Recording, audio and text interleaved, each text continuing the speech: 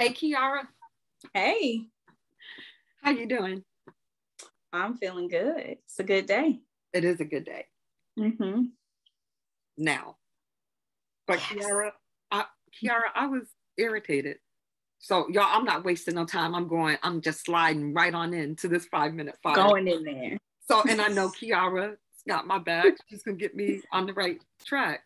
But of course, Kiara, you know, it's it's very irritating to me when people always think they have the answers for me and even mm-hmm. worse is when they ask me how to do something or ask me about something but they don't do it man mm-hmm. kiara i can't i can't do it for them i mean Absolutely. and that will and that that applies to me so mm-hmm. real quickly, when going through the counseling for MST, my counselor recommended tools that I utilize. A year later, me and my children, guess what? Still doing those tools. Because I want to get better. I want to be the right. best Vonda walking that there is.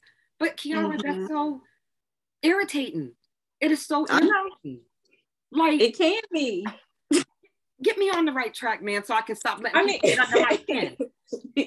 I mean, it is irritating and frustrating when we try to help other people, or when we try to give them advice on certain things or tips and stuff like that, and they end up not taking taking it or taking that next step of executing. I think it boils down to readiness. Like you were saying, um, there are things that your therapist had given to you because um, you know you wanted to get better, right? And things right. that you still use to this day, a year out.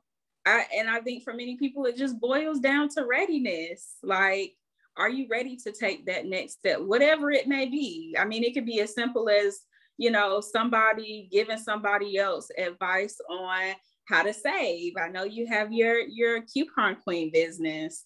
Um, so giving advice in that realm, it can even be frustrating because people may ask questions and may not take that advice. But again, that boils down to readiness. Are they ready to take that next step and not be handheld anymore? We can't hold people's hand and actually execute, you know, the advice that was given. Um, I feel like some Readiness. people just want the results without putting in any work.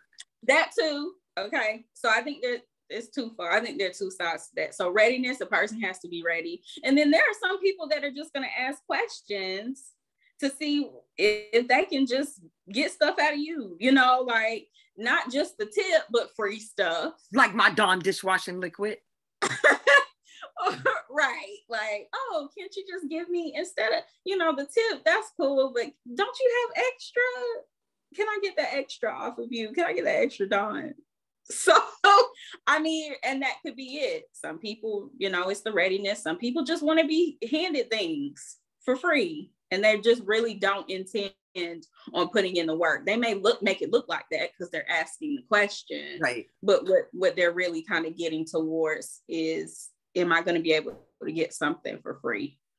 So, I mean, uh, in not not to rant, but something that a, a really cool professor taught me um, in grad school, and I forgot who it was. I wish I could recall. Um, but she was like, you have to meet people where they are right?